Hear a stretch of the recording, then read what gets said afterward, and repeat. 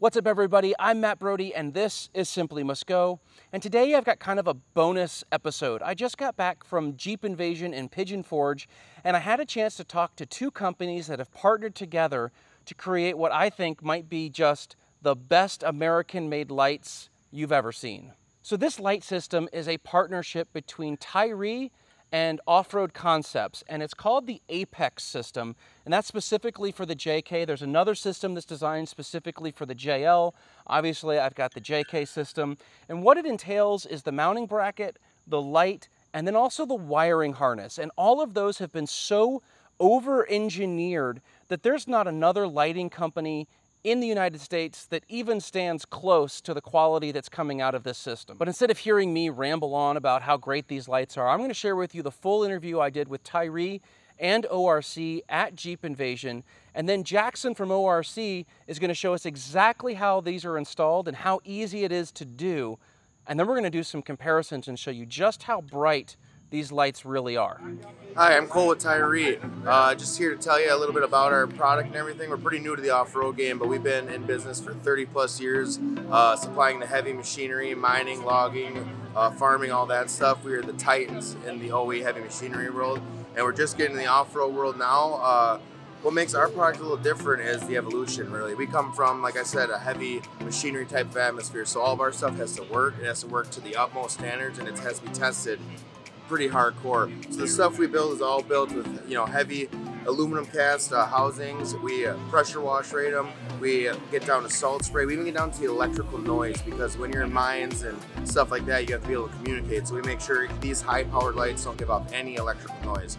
Um, also with that, we have really engineered lenses. Our lenses may look like they're just like a random lens to the to the layperson, but we have a lot of engineering and a lot of time just in the lens patterns with our lights, which also gives us the opportunity to offer you guys multiple lens patterns. We go by the nomenclature symmetric, wide symmetric, narrow symmetric, which is our answer to the flood spot thing. People are always asking, is it a flood, is it a flood or a spot? Well, it's kind of both. Wide and narrow refers to how much flood you get, but all of our lights go about three, four miles out in space, and you can see them for days. So that's what we pride ourselves on. Um, something else that makes us a little different too is we don't we don't beat around the bush about our output and everything like that. A lot of companies will tell you uh, this 100,000 uh, lumen number. We tell you what's actually coming out of our housings, the actual working light that you can actually use. And if you can get anybody else to tell you their lumen numbers, you'll find we're very, very high. Um, you might recognize some of our lights because we do private label for Jeep and Mopar. They gave us the opportunity to get into the off-road world. So our 1313s and our 1010s um, you might see on some Jeeps. As well, the AEV 7000 series is actually a Tyri product that uh, AEV adds a little more bling to and makes it their own. So we're out there in the off-road space, it's just getting our own name out there. The name is pronounced Tyree. I know it's a little confusing, but it's Tyree and that's how we pronounce it. Um, hopefully you see more of us in the next coming years. We're going to be on more and more sweet builds like Matt's and uh, more cool builds. Hopefully get on his channel a little bit more and uh, we'll see you guys out there. If you guys are looking to find Tyri, uh, our Instagram is at Tyri underscore lights. And you can find our products at tyri.com, uh, search in the off-road sector. And as well, we have a website called Fox Taillights where we sell over our website, or, oh, I screwed that up. It's alright, start over. Yeah. If you guys are looking for Tyri, you can find us on Instagram at, at Tyri underscore lights. Uh, our website is tyri.com. And we also sell lights through foxtaillights.com. So check us out, give us a poke around, and ask for Cole if you're at uh, Smoky Mountain Jeep Show. Hey everybody, my name is Jackson Green. I'm the president of Off-Road Concepts and uh, today I'm going to give you a quick overview of one of our products and the quality that it has and the difference in manufacturing that, uh, that we bring to the market. So this is our Apex Pro system. Now we are partnered with Tyri Lighting for the lights. They are the highest quality, highest output light made for the off-road world. They are made 100% in the United States in Wisconsin. Now this happens to have the amber lenses, but they also have clear lenses available in a variety of different lights. Now our Pro system, which is what this is, uses the 4-inch light. These two lights put out a verified 8600 lumens, which is more than any other pod system on the market and more than some light bars. Now, our brackets, which you can see here, start out as a solid block of billet aerospace 6061 T6 aluminum. They're then actually machined on a five axis CNC machine down to this beautiful shape And uh, we try to bring in a lot of the OEM design features of the brackets that Jeep already has on it and bring those into our bracket. And after the machining process is done, they are then bead blasted and finished in a Type 2 hard coat black anodizing. Now, the reason that this process is superior to any other method of finishing on the market right now is because powder coat or paint, anything like that, given enough time, will chip it will fade, and especially steel brackets, you know, compared to aluminum, will rust.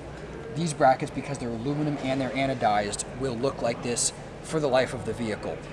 Uh, these brackets have actually been on here for almost two years and they look exactly as the day that they were put on, even down to the hardware. We actually use anodized aluminum hardware into the body as well.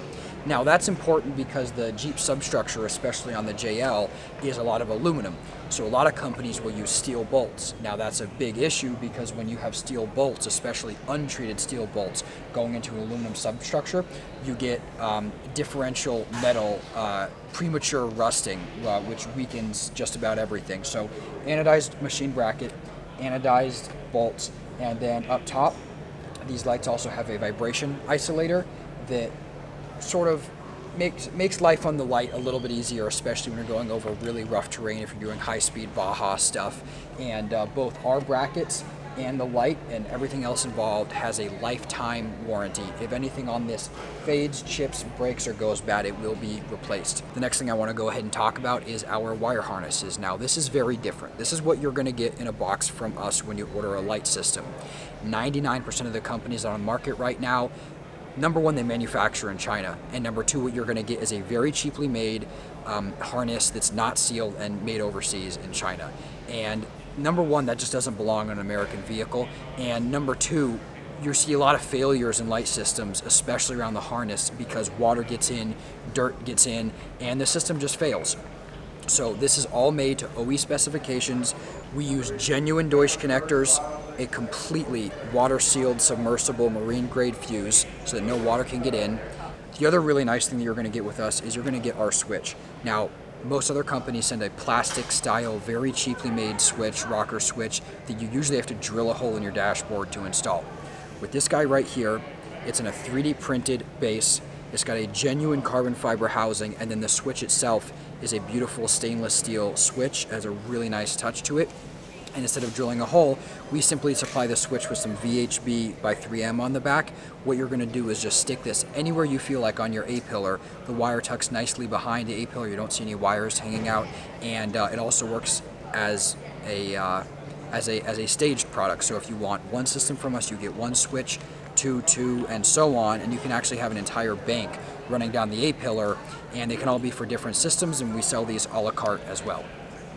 Lastly, this harness runs almost entirely inside the firewall of the vehicle. Now, that's pretty big because it protects the system inherently from any water or vibration or high heat that it might experience in the engine bay, which allows us to keep the cost down on this, you know, for the end user, which is great.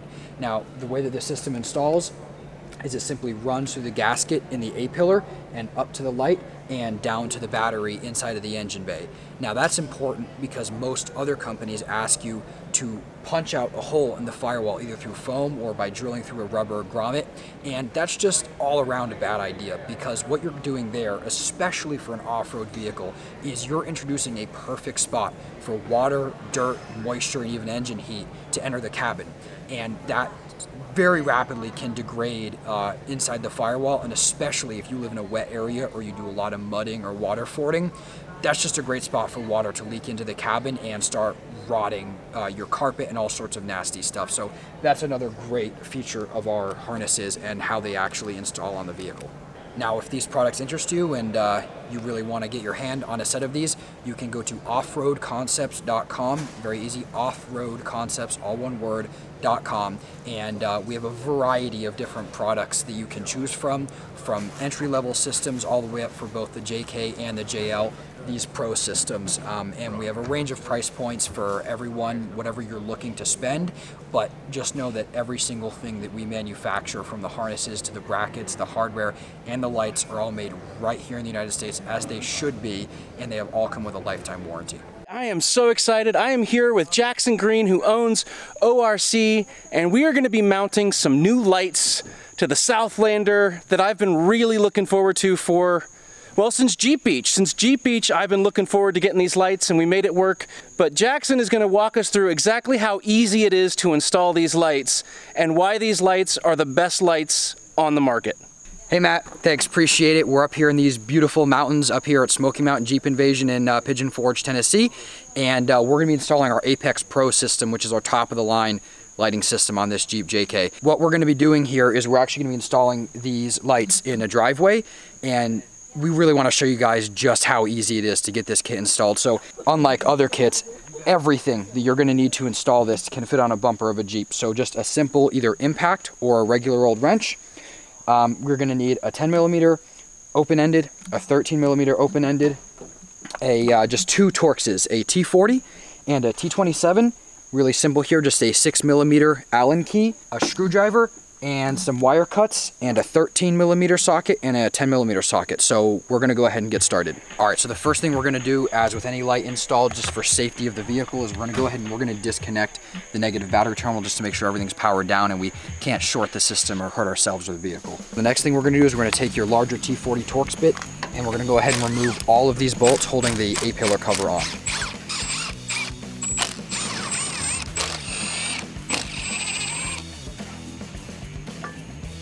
Now we're just gonna do the same to the other side really quickly.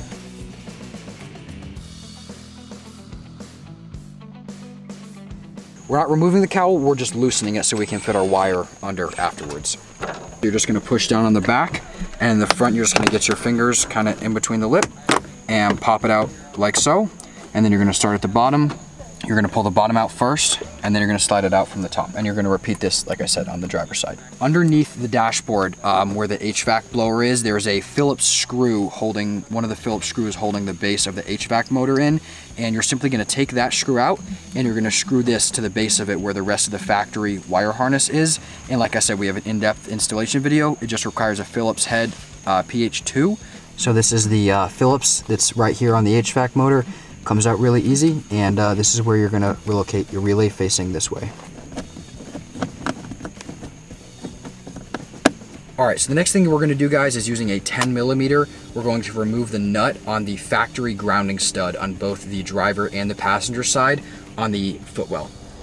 So we're going to go ahead and slide our grounding ring terminal on top of the factory grounding ring terminal and then of course reinstall the 10 millimeter nut and as I stated before, we use in our systems all of our grounding points to all of the factory grounding locations. All right, so the next thing we're gonna do is we're gonna go ahead and take the driver side of the harness and we're gonna pass it over the center console into the footwell of the driver side of the vehicle. We're gonna go ahead and remove the driver side rear grounding stud. And we're gonna take the driver side grounding terminal and we're gonna slide it just as before over the factory ring terminal. When you install these, make sure to angle the harness upwards so that it's not angled down and visible. Alright, so the next thing you're going to do is you're going to take the both the power lead and the plug for the light and you're going to push them up in between the body of the Jeep and the plastic on the dash and get them up there in that gap. Now the next thing you're gonna do is you're gonna take these leads and we're gonna pass them through the A-pillar seal. Now, all other companies usually have you pass the leads through this hole here in the dashboard. Now that's not a good idea because when you do that, you're removing insulation from your dashboard and you're actually allowing a passage now for water to, and moisture to get in from the engine compartment and heat directly into your cabin, which is not optimal. So what we're gonna be doing is we're gonna be pulling this seal backwards and we're gonna be sliding these harness leads in between the seal and the A-pillar. Now what's really important here is you don't wanna leave them like this where you're pushing the seal out because obviously that's gonna cause issues. What you need to do, and there is plenty of room in here, is work them all the way back and there is a channel there for them to sit in and you wanna make sure that that gasket is not being pushed outwards. You're gonna continue to work the leads down and around this gap and we're gonna pick up on the other side. Because our harness comes out here, what you're gonna wanna do is push some of this lead back through that gasket and leave just about that much coming out of the base. The next thing you're gonna do is you're gonna continue to work this through the seal up into the A-pillar, as I said before, past the seal so that you're not having any issues interfering with that door jamb closing all the way up in there. So we're gonna continue to work this up inside that gap. As I mentioned before, we're gonna just lift this panel up and we're gonna slide the power terminal in through that gap. And you wanna make sure it's not resting on the panel, but that it's behind it and has dropped down so you don't squish it and that you know you're not gonna drill through it. It's not beneath these holes. So here I can see this needs to be pushed in just a little bit more. There we go. Now it's dropped down and we can see that it's sitting flush. Now we're going to take this lead and we're going to pass it into the engine bay as so and get it ready to be connected to the positive battery terminal. Alrighty, so some of you might notice a little bit different about our harness is our fuse. Now, this is a really interesting fuse. All other harnesses on the market for lights for Jeeps use standard open fuses. Now that's a really bad idea and the number one problem you're gonna see in existing harnesses that are on the market are shorted out lights because of bad fuses. The reason for that is because the standard fuses that are used aren't sealed. The rest of the harness might be sealed, but if you have a bad fuse where water can get in, you're gonna get premature failure. Now, this is a marine grade, completely sealed fuse, and it uses a extremely heavy duty glass type fuse you can pick up at any auto store. If For some reason it goes bad or you need to replace it. And you can see on both sides to the harness as well as internally it has a double lipped seal. So this seal can actually be submerged. Like I said, it's a marine grade fuse underwater if you do a lot of mudding or water fording like the rest of the connectors on the vehicle and you're never going to see a fuse failure.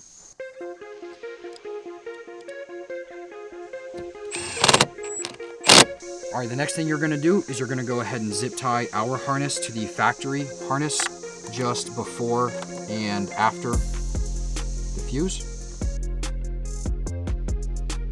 All right, so one of the things you're gonna notice about our harness is, unlike a lot of other systems on the market, that the fuse kind of ends up in some random place buried somewhere where you gotta, you know, tuck it in.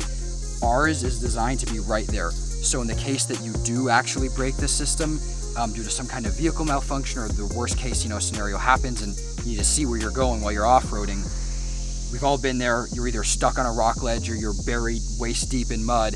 And the last thing you want to be doing is digging in your engine bay trying to figure out how to fix the thing. And on ours it's right there and you pop it right open stick a new fuse in plug it in and you're good to go again. All right so the next thing here we're going to do here is we're going to open our switch package. We just package it nicely like this so that, you know, when you're installing the harness, you don't accidentally bang it up. So we're gonna take out our carbon fiber switch. And what you're gonna do is you're gonna put the switch up between this gap here. You're gonna put your top other hand and you're gonna push down the little rubber gasket that Jeep has between the uh, windshield and the dashboard. And you're just gonna feel around, it's quite easy. You're gonna feel your other fingers with the switch and then you're just gonna push and you're gonna go ahead and squeeze that switch between the dashboard and the windshield and you're just gonna pull it up and through like so. All right, so the next thing you're gonna do is um, you're gonna go ahead and wipe down this interior A-pillar, the plastic, with a simple cloth with just some IPA, some rubbing alcohol on it. Now, the reason that we do this is because if you get your Jeep detailed or you detail it yourself and you have some Armor All or interior detailer on it and that plastic has you know, fingerprints or dust or dirt or any kind of detailing spray, it can affect the way that the plastic adheres. So, like I said, just spray some IPA on a rag and just give it a good rub down just to make sure you don't have any kind of residue on there when you go ahead and place the switch. And just like that should be good. Go, go ahead and let that dry, and uh, then we're going to proceed with installing the switch. Alright guys, so the next step you're going to do in your install bag, you're going to get this 3M primer stick and this just helps the 3M tape adhere to this particular kind of plastic. So what you're going to do is you're going to see a dot on the stick. You're going to crush that dot. You're going to hear a crunching sound. You're going to shake it up a little bit. Wait till the end gets filled with fluid. And then you're just going to take it in your switch location right here where you can choose for wherever you want it. And you're going to go ahead and just rub this on just like you would a felt pen coloring in like a Sharpie And like I said, this just helps the plastic adhere to the 3M adhesive that we use. And this is a non-permanent install. Of course, you can remove it and reapply it, but especially if you live in a hot climate, this just prevents the switch from coming loose. Alrighty guys, next thing you're gonna do is you're just gonna peel this red backing off of the 3M on the switch. You're gonna hover it right over that spot where you put the uh, primer. You're gonna go ahead and stick it on there and just press real nice and good and make sure you get a good adhesion. And uh, after about five minutes, that should cure and your switch is gonna be installed. Yeah, so normally we use a body tool for this, um, but uh, you can just use your fingers if you don't have a body tool or a plastic knife. And I just want to tuck it back there so that, you know, it's not visible and you can't see any wires hanging out behind the dash. All right, so next thing you're going to do is you're just going to take this slack and uh, you're going to use one of our supplied zip ties just to bundle this up. Like I said, we do offer, you know, because of the switch design, you can place the switch all the way up high or all the way down at the bottom if you're running a series of switches of ours. So we offer a little bit of slack and you're just going to go ahead and coil that up, put a zip tie on it, and then tuck it behind this panel. Now, normally with other harnesses, you might hear some noise with this, but because we design our harnesses to OE specification, we use OE felt tape. Now, what that does is because it's soft and has a felt texture, it's used in OE harnesses so that when the vehicle is moving around off-roading, going over bumps, and you know it's knocking around in there, you're not going to hear any noise against the plastic like you would with you know a cheaper plastic loomed harness.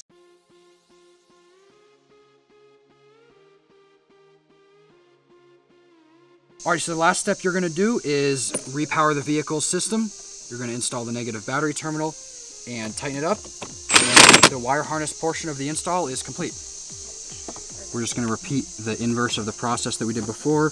We're gonna slide the top in first, notch it in, and then just pop it in like so, and clip it back in.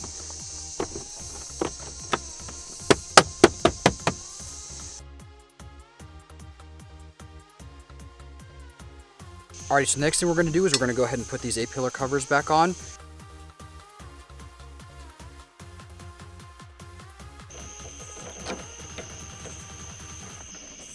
Just want to make sure you go top to bottom, top to bottom, not just like cork one side.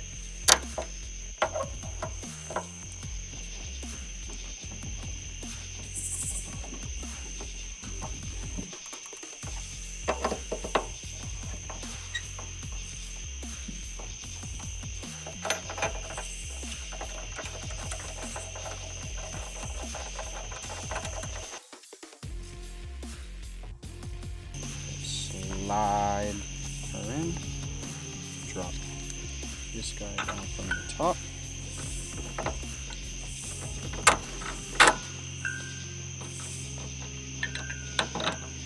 Like so. And take our nut, the nut on the bottom. You do have to tighten these a lot because they have that crush gasket to decrease the vibration into the light.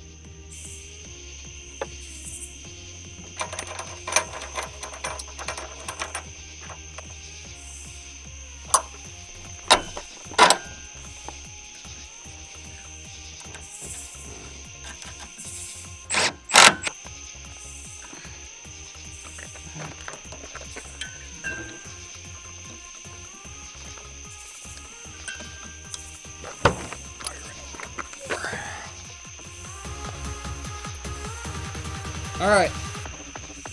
Oh my gosh! Hang on.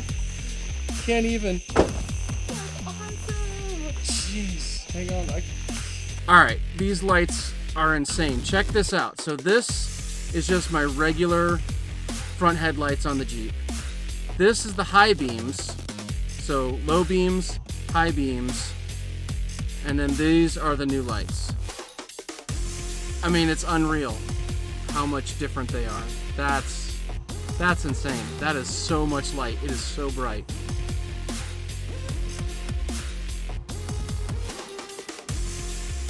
Alright guys, I hope you found this video both helpful and informative. I really just wanted to share with you why I thought this Apex system was by far, hands down, the best American-made off-road light system on the market today. And if you're interested in these lights, I will leave links to everything down below so you can go check those out. But until next time, guys, I hope I see you on the trails. God bless, and we'll see you in the next video. Peace.